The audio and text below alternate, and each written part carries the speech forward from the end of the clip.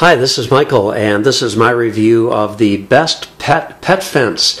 Now, we're using this temporarily inside just to uh, put her cage and then have a little play area for her. It comes with seven of these panels, and those panels are 30 inches wide, and this particular model is 32 inches tall. Now, if you do plan to use this inside like I am, uh, it is good to know that the panels do have plastic end caps on them, so it will help protect against scratching a wood floor. Seven of those panels, and then one panel which is the doorway. And the doorway has two latches on it, which works pretty well, and that's Lucy. Now, we did have a problem with this, and I want to say that the customer service was excellent.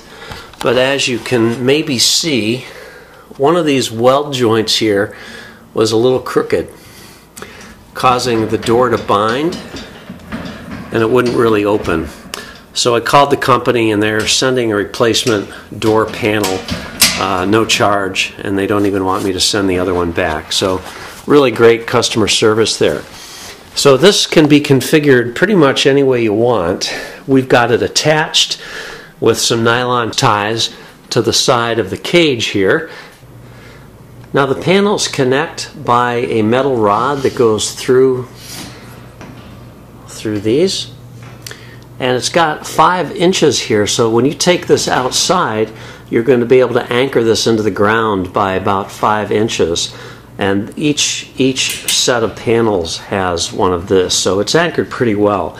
Now we actually have two extra panels that we're not using in this configuration that we have here in our house. But it's basically uh, it's very nice. We think the quality is great. It's not flimsy seems to be pretty high quality and we're quite happy with it I do have one bit of caution, however, and the reason I mention this is because our 13 week old standard poodle puppy has done this twice so far. They are teething, so they start chewing on these. And what can happen is their jaw is so small, they can actually get their lower jaw in here, their sharp teeth uh, get caught, and then they try to yank their, their jaw out of here, and they end up getting basically stuck in here. Um, it just happened to my dog as I was filming this video review, as a matter of fact, and it scares the dog, it scares the heck out of me, and they actually can break their teeth when that happens. So, a um, little bit of caution for using this with uh, young puppies that have very small jaws who might be prone to teething on these uh, on the wire. If you have any questions, leave me a comment. I'll answer it if I can. Otherwise, thanks for watching. Have a great day.